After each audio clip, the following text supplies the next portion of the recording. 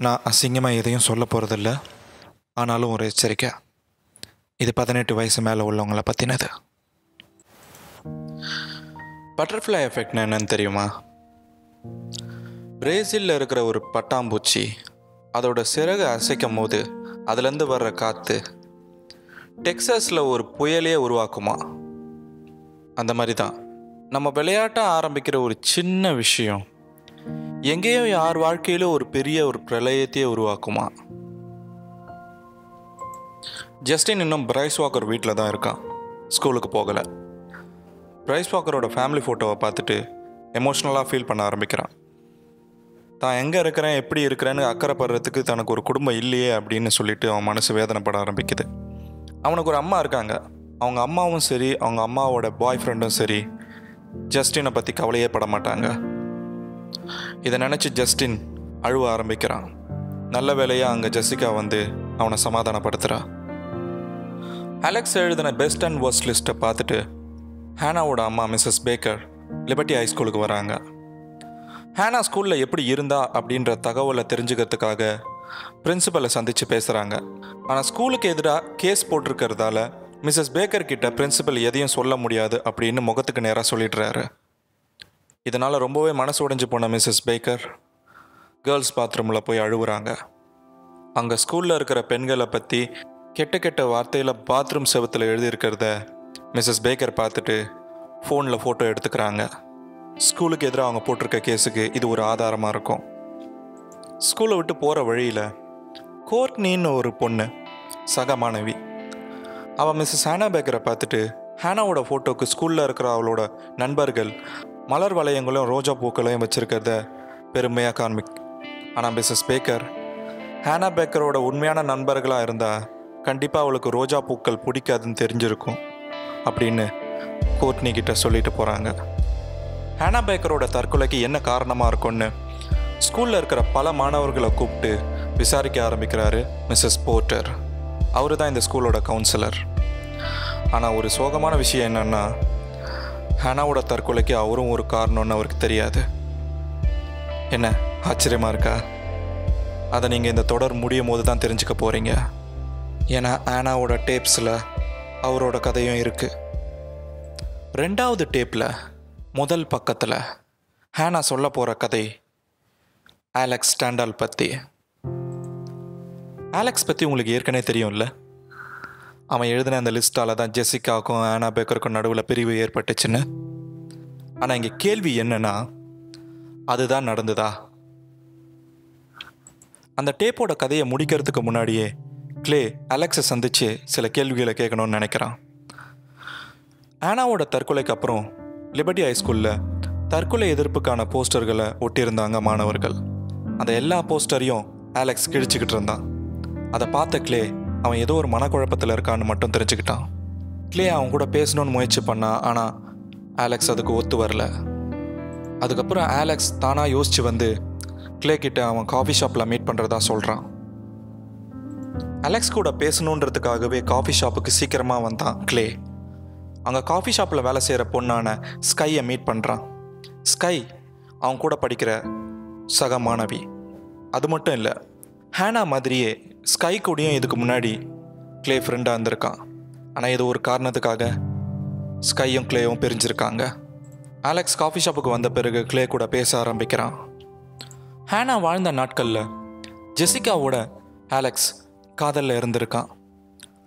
அப்போது ஜெசிகா கூட sex வச்சுக்கிறதுக்காக Alex முயற்சி பண்ணும்போது ஜெசிகா அதுக்கு ஒத்துக்கலை. இந்த விஷயம் ஆலெக்ஸை ரொம்பவே உறுத்தி ஜெசிகாவை காயப்படுத்தணுன்றதுக்காகவே அந்த பெஸ்ட் அண்ட் worst லிஸ்ட்டை ரெடி பண்ணதாக சொல்கிறான் இதுதான் கிளேக்கு அதிர்ச்சியாக இருந்துச்சு. அவனுக்கு மட்டும் இல்லை நம்மளுக்கும் தான். நம்ம ஆலெக்ஸ் ஒரு நல்ல பையன் நினச்சோம். ஆனால் ஜெசிகாவை காயப்படுத்துறதுக்காக தான் இதை செஞ்சான்னு நம்மளாலேயே நம்ப முடியலல்ல. ஆனால் முகத்தை வச்சு மட்டுமே எடை போட்டுற முடியாது. ஆலெக்ஸ் தான் செஞ்ச இந்த ஒரு காரியம் ஹேனாக்கும் ஜெசிகாக்கும் நடுவில் ஒரு பிரிவை ஏற்படுத்தும். ஏன்? ஹேனாவோட தற்கொலைக்கே இது ஒரு தூண்டுதலாக இருக்கும்னு நினச்சி பார்க்கலன்னு சொல்கிறான் ஹேனாவோட தற்கொலைக்கு நான் தான் காரணம் அப்படின்னு அவன் நினைக்க ஆரம்பிச்சிட்டான். ஸ்கூலில் இருக்கிற எல்லாருமே ஹேனாவோட பின்னழகை பார்த்து கிண்டல் பண்ண ஆரம்பிச்சு. ஹேனா இதை பற்றி கேட்கறதுக்காக ஆலெக்ஸ் கிட்ட பாய்ஸ் ட்ரெஸ் சேஞ்ச் பண்ணுற ரூம் வரைக்கும் போனதை பற்றி ஹேனா அந்த டேப்பில் சொல்லியிருந்தா. இது மட்டும் இல்லை சூப்பர் மார்க்கெட்டில் நடந்த ஒரு சம்பவத்தை பற்றியும் ஹேனா அந்த டேப்பில் சொல்லியிருந்தா. ஹேனா எப்போவுமே சாக்லேட் வாங்குறதுக்காக ஒரு கடைக்கு போவா. அந்த கடையில் பிரைஸ் வாக்கரும் அப்போ வந்திருந்தான். அவகிட்ட பிரைஸ் வாக்கர் சாதாரணமாக அவளோட பின்பக்கத்தை தொட்டு உண்மையிலே அந்த லிஸ்ட்டில் சொல்லியிருந்த மாதிரி தான் இருந்துச்சு அப்படின்னு அவளை கிண்டல் பண்ணிட்டு போனான் இந்த விஷயமும் ஹேனாவை ரொம்பவே பாதிச்சிருந்தது. என்னதான் அலெக்ஸ் அந்த லிஸ்ட்டை ஜெசிகாவை கடுப்பேற்றுறதுக்காக பண்ணியிருந்தாலும் அதை பாதித்தது என்னவோ ஹேனாவை மட்டும்தான். நிகழ்காலத்தில் அந்த டேப்பை கிளே கேட்டு முடித்த பிறகு ஹேனா எப்பவும் போகிற அந்த சூப்பர் மார்க்கெட்டுக்கு போகிறான் அங்கே எதிர்ச்சியாக பிரைஸ் வாக்கரும் வந்திருந்தான்.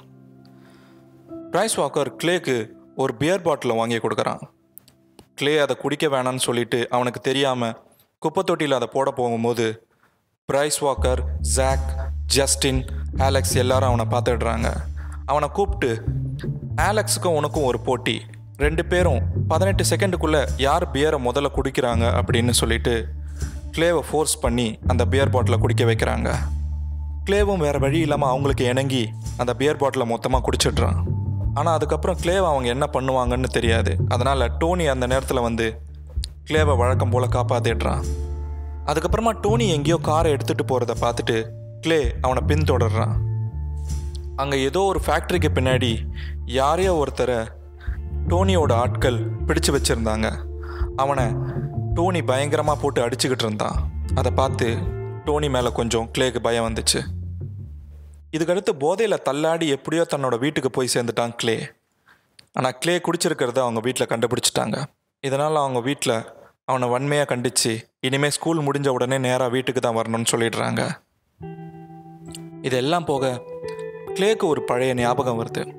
ஹேனாவோட இருந்த அந்த ஒரு ஞாபகம். தேட்டரில் பார்ட் டைம் ஜாபை முடித்த பிறகு ஹேனாவும் க்ளேவும்.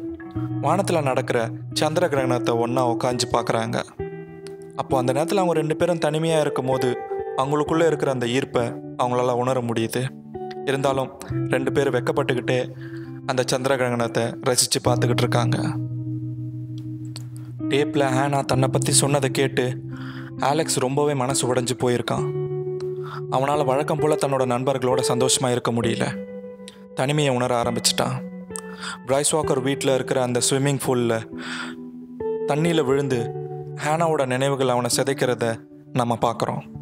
நான் முதல்ல சொன்ன மாதிரி பட்டர்ஃப்ளை எஃபெக்ட் நம்ம செய்கிற ஒரு சின்ன செயல் யாரை வேணாலும் போய் பெரிய அளவு பாதிக்கும். ஏன்? நீங்கள் செய்கிற செயல் திரும்ப வந்து உங்களையே கூட பெரிய அளவில் பாதிக்கும். அப்படி தான் இப்போ ஆலெக்ஸுக்கும். இந்த நேரத்தில் க்ளேவும் அடுத்த கதைக்கு தயாராகிட்டான் ரெண்டாவது டேப்போட மறுபக்கத்தை வாக்மேனில் போட்டு கேட்க ஆரம்பிச்சிட்டான் இந்த முறை ஆனா சொல்கிற கதை ரொம்பவே ரகசியமானது. அதனால் நீங்கள் ரொம்பவே கவனமாகவும் இருக்கணும் அப்படின்னு சொல்கிறா அது என்னவா இருக்கும்?